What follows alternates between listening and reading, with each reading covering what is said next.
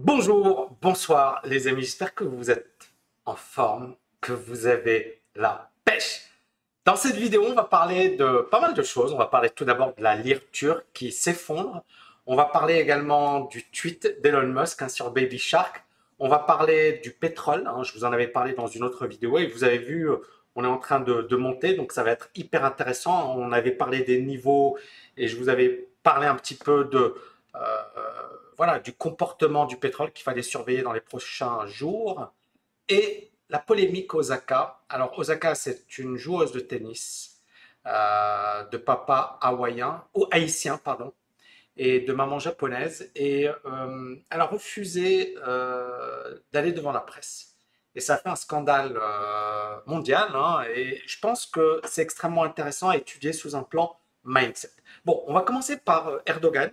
Et Erdogan, récemment, euh, a dit qu'il fallait continuer de baisser les taux euh, d'intérêt. Euh, la Turquie, on le sait, aujourd'hui, elle est en difficulté. hein, on est avec, comment dirais-je, la lire turque, vous voyez, qui explose à la hausse. Et sur une base mensuelle, vous voyez la lire turque qui, qui littéralement s'effondre. hein. Ici, ça valait un, euh, une lire turque, non, pardon, un dollar valait environ une lire turque. Et là, 1 dollar aujourd'hui, ça vaut 8,5 lire turques. C'est-à-dire que la lire turque a été divisée par 8,5 en 10 ans.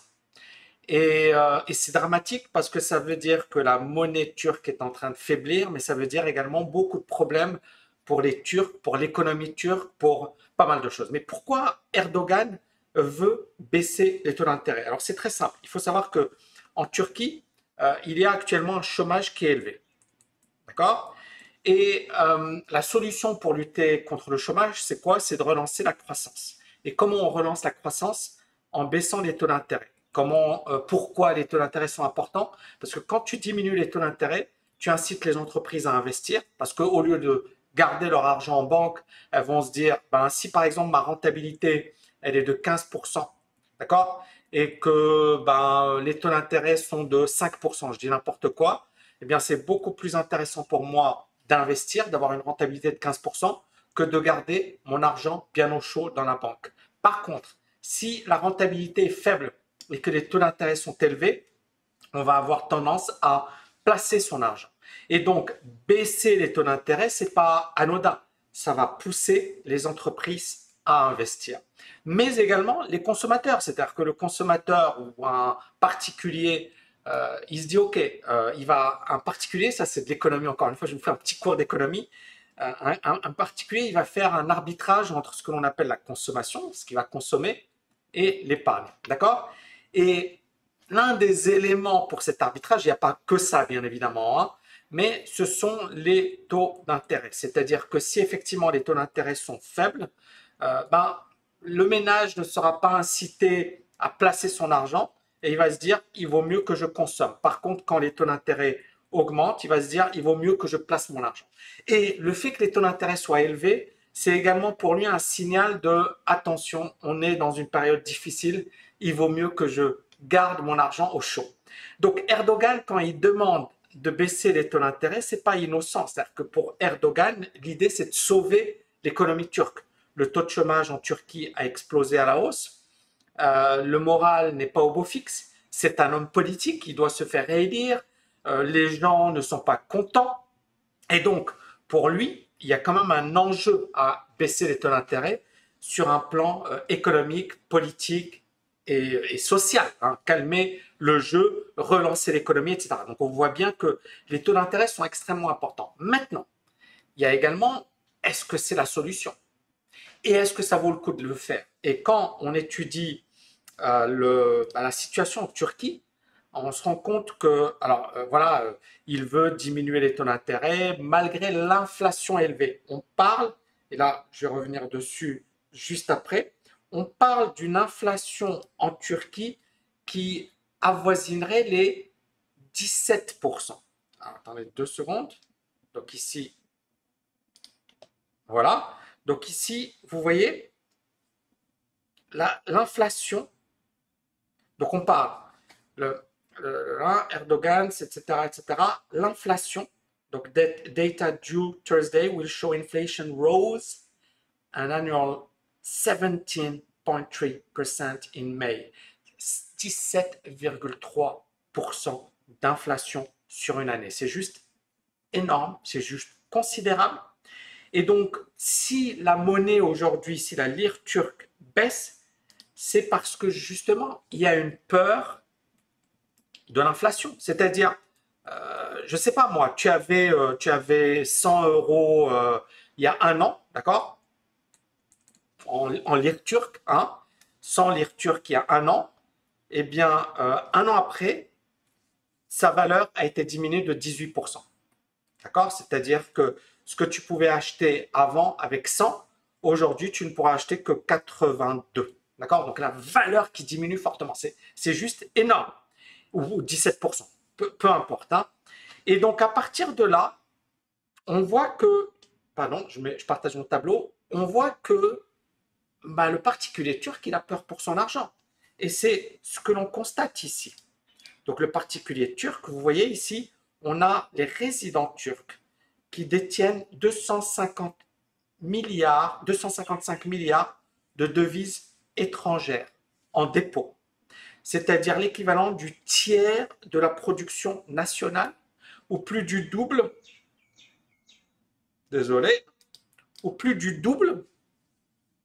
Euh, alors, bien sûr, euh, voilà, ou plus du tiers de la production nationale turque et plus du double qu'il y a huit ans. C'est-à-dire que les Turcs ont de moins en moins confiance dans l'économie. Et on le voit ici, Erdogan a effectué de nombreuses euh, interventions depuis 2013 et ça a mené à euh, un accroissement de, voilà, du, de la volonté des, Turcs de vouloir investir dans des monnaies étrangères, etc. Et on voit un exemple concret euh, d'un pays où les gens ont de moins en moins confiance dans leur monnaie nationale. Alors, il y a beaucoup de gens, ils vont faire le parallèle avec l'euro, d'accord? Parce que c'est les mêmes questions qui se posent. Est-ce qu'on ne va pas avoir de l'inflation? Est-ce qu'on ne va pas avoir une dévaluation? Est-ce que finalement mon argent ne va pas perdre de sa valeur? Le gros avantage de la zone euro comme de la zone dollar, c'est que bah, ce sont des monnaies mondiales, des monnaies bien plus importantes. D'accord? La lire turque est importante, la Turquie est un pays important, mais l'euro est bien plus important sur un plan euh, voilà, économique au niveau mondial.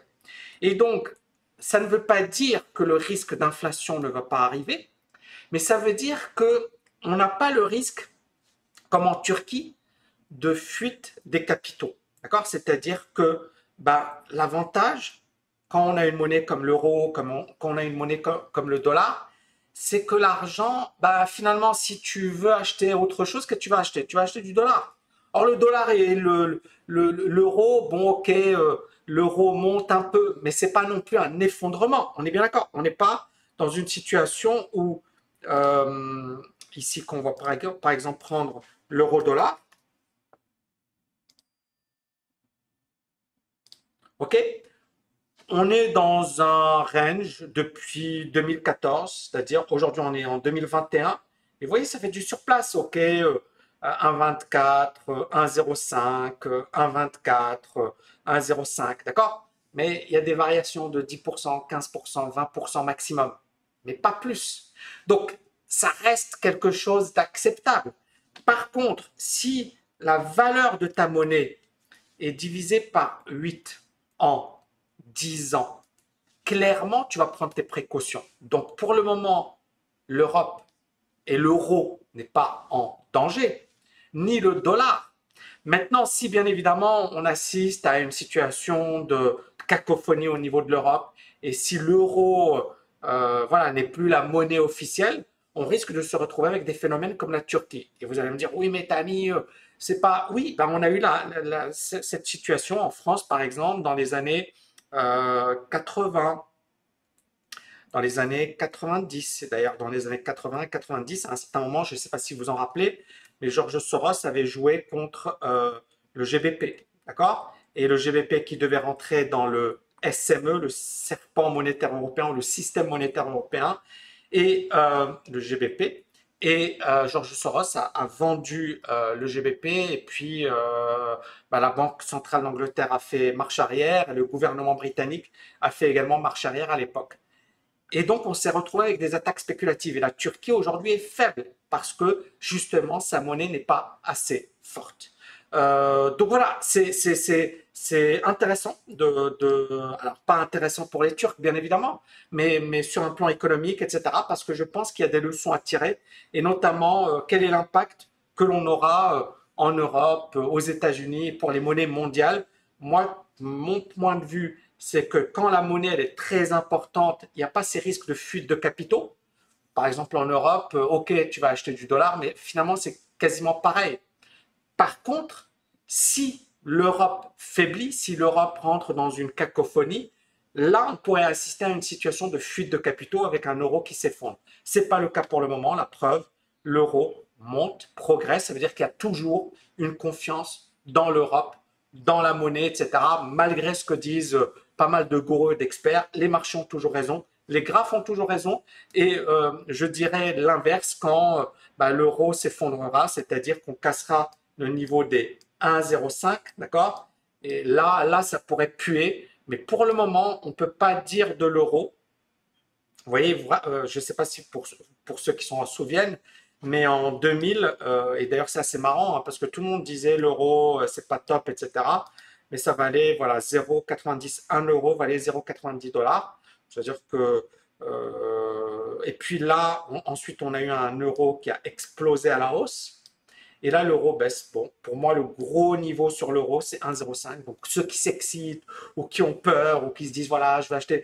Moi, pour moi, tant qu'on est dans cette grosse euh, zone de range, il n'y a pas lieu de s'inquiéter. Si ça casse par le haut, c'est très positif pour l'euro parce que ça fera la première fois depuis 2014, donc 6 euh, ans, 7 ans, que ça casse. C'est un très, très gros niveau.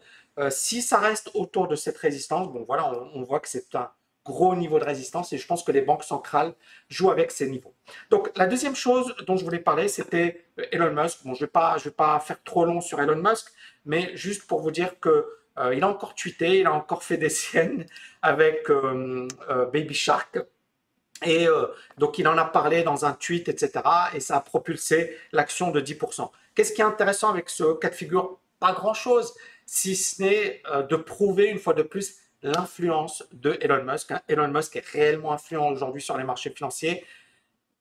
Et je pense que, euh, moi je l'avais déjà dit dans une vidéo, je pense que cette vidéo, elle a, elle a, elle a, elle a touché dans le mille, hein, puisque ce que j'avais dit ensuite s'est réalisé. Euh, et je disais que voilà, euh, il allait s'en prendre plein la gueule. Il s'en est pris plein la gueule. Ensuite, il a essayé de, de jongler en disant qu'il avait été voir les mineurs, Bitcoin, blablabla. Il a essayé de, de, de calmer le jeu. Euh, mais il s'en est pris plein la, figure. Et je pense qu'encore une fois, euh, mon, conseil était toujours le bon. Euh, il doit se focaliser sur Tesla parce que il a du boulot. Et là, au lieu de s'amuser sur Twitter, il devrait être focus sur son job. Mon, mon humble avis. le troisième point que je voulais aborder, c'est le pétrole, bien évidemment, plus haut niveau depuis 2018. Pourquoi? Parce que la demande, elle est forte. Euh, vous voyez ici la demande sur le pétrole. Euh, voilà, le, pétrole qui est aux, alentours des 70. Euh, donc, demande qui devient de plus en plus important, retour de la confiance et bien évidemment, gros, gros niveau technique. Hein. je vous en avais parlé la dernière fois durant, dans ma, vidéo récente. Hein. vous voyez, c'est le gros niveau.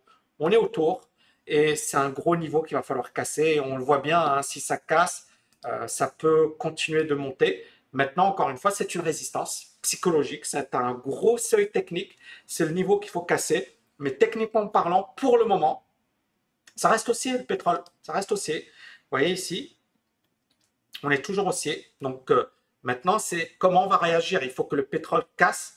Parce que si ça casse pas, encore une fois, c'est un gros, un gros niveau de résistance et le marché peut réagir assez rapidement. Mais si ça casse par le haut, on va avoir un, un seuil psychologique et on va avoir effectivement euh, euh, pas mal d'achats. Donc c'est comment il va se comporter. Je pense qu'il y a une réunion de l'OPEP dans pas longtemps et ça, ça c'est important.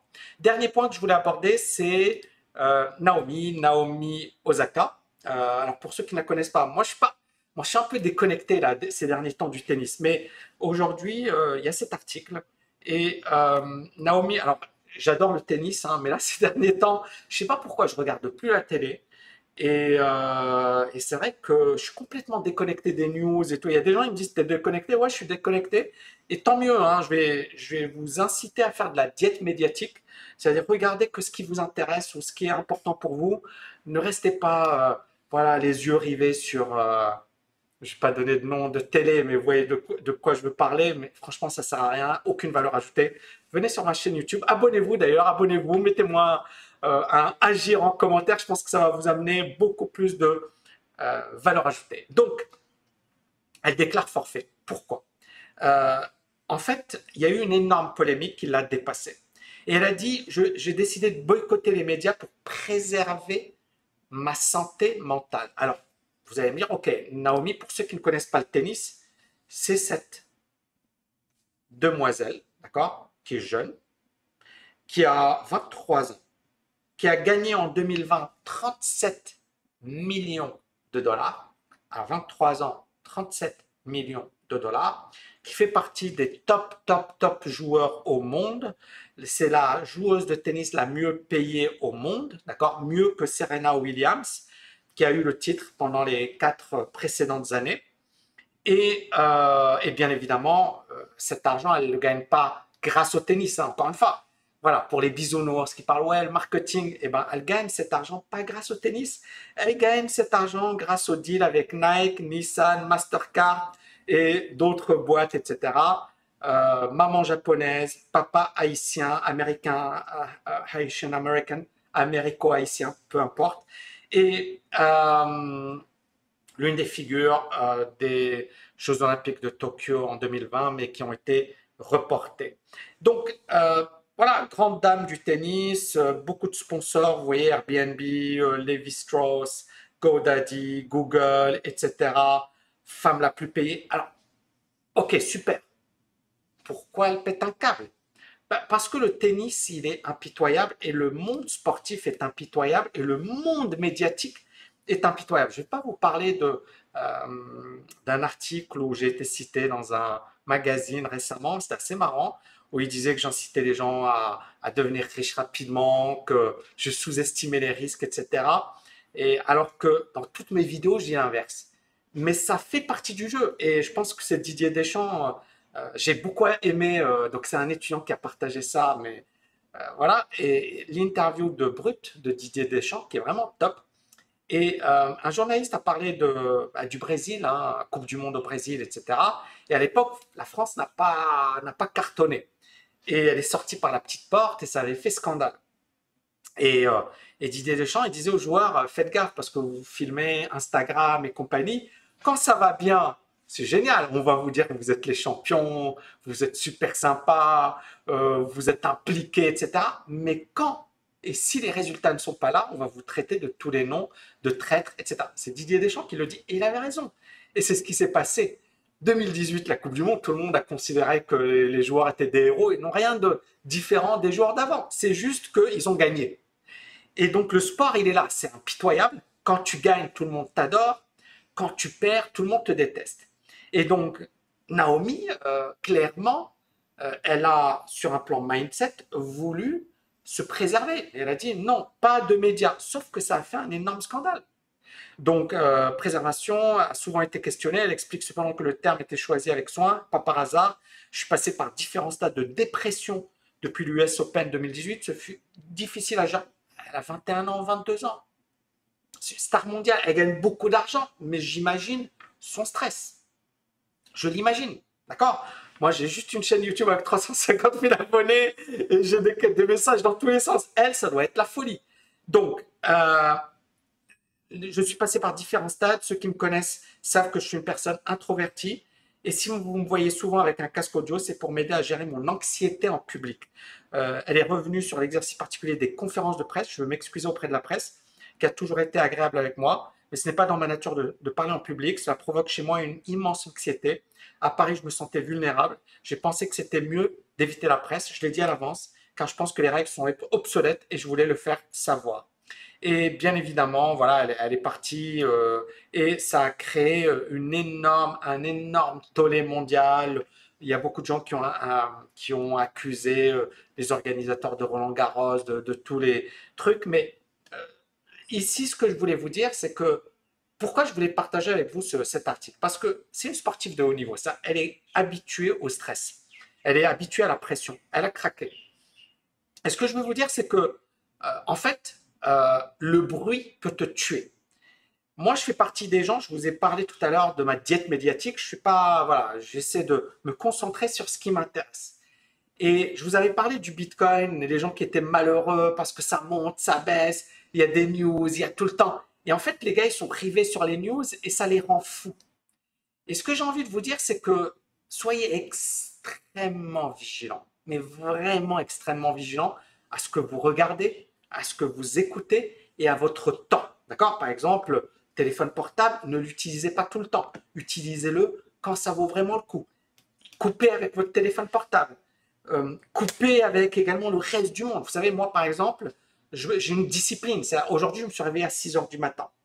Et, euh, ben, j'ai pas parlé avec mon équipe. J'ai pas parlé. C'est-à-dire, il y a un moment où je vais parler avec mon équipe et je leur dis avant, ne me dérangez pas, ne me parlez pas, ne m'interrompez pas, je suis focus. Et alors, vous allez me dire, ouais, Tammy, il est fou. Non, non, non, c'est juste, euh, en fait, plus tu es perturbé et moins tu es concentré. Donc, je la comprends totalement, Naomi. C'est une sportive de haut niveau, elle sait que c'est du bruit, elle sait que ça a un impact, et il y a beaucoup de joueurs de tennis qui l'ont dit. Ils l'ont dit, euh, tu, quand par exemple tu perds et tu vas devant la presse, ils peuvent te massacrer. Euh, et, vous le voyez, hein, c'est un exercice très difficile. Les sportifs ne sont pas forcément préparés à ce genre d'exercice. Et encore une fois, on attend d'eux qu'ils soient des Superman, des surhommes, alors qu'ils sont fragiles. Même si, encore une fois, je ne les plains pas. Elle gagne 35 millions, euh, c'est bon, quoi. Elle est déjà libre financièrement. À 23 ans, elle n'a pas à se plaindre. Il y a pire. Mais ce que je veux dire, c'est que la pression psychologique est tellement importante que beaucoup de gens ne le comprennent pas et beaucoup de gens se disent oui, mais euh, elle n'a pas à se plaindre et ils vont dire la même chose des joueurs de foot. Hein. Vous savez, c'est si l'équipe de France perd, ça va être la folie. Et c'est pour ça que ils ont intérêt à gagner parce que là, la pression, elle est, elle est au top. Parce que là, ils sont les favoris. D'accord? Je parle de l'équipe de France de foot. Hein. Là, ils sont les favoris. Ils ont la meilleure équipe. Euh, tout est super tout le monde les adore, mais s'ils perdent, mais ils, vont se faire mais décimer par les médias et par le public. Et donc, c'est ça la pression que les gens ignorent. Ils sont pas sportifs de haut niveau, ils sont pas, euh, comment dirais-je, euh, des, personnages publics. Et dès que tu deviens un personnage public, c'est vrai que ça, ça devient très très chaud. Dites-moi en commentaire ce que vous en pensez euh, de Naomi. J'espère que vous avez kiffé ce nouveau format. N'oubliez pas de liker, de partager, de vous abonner et télécharger mon audiobook. Alors, euh, on, offre mon audiobook Agir gratuitement. D'accord? Il y a un lien qu'on va vous mettre. Et honnêtement, cet audiobook, il est juste énorme. On a déjà des retours. Il y a déjà eu plusieurs milliers de personnes qui ont lu euh, et qui ont écouté cet audiobook. Donc, merci infiniment et je vous dis à bientôt. Ciao, ciao, ciao. Bonjour les amis, j'ai envie de vous poser une question. Est-ce que vous voulez agir? Est-ce que vous voulez agir? Parce que si c'est le cas, yes, je vous offre le livre audio Agir. Ce livre audio, c'est 22 euros à la FNAC. Ce livre audio, c'est 8 heures de condensé, c'est 8 heures d'énergie, c'est 8 heures de motivation. Et c'est à toi aujourd'hui. Il suffit de cliquer au-dessus, en dessous. Clique mon ami. Ciao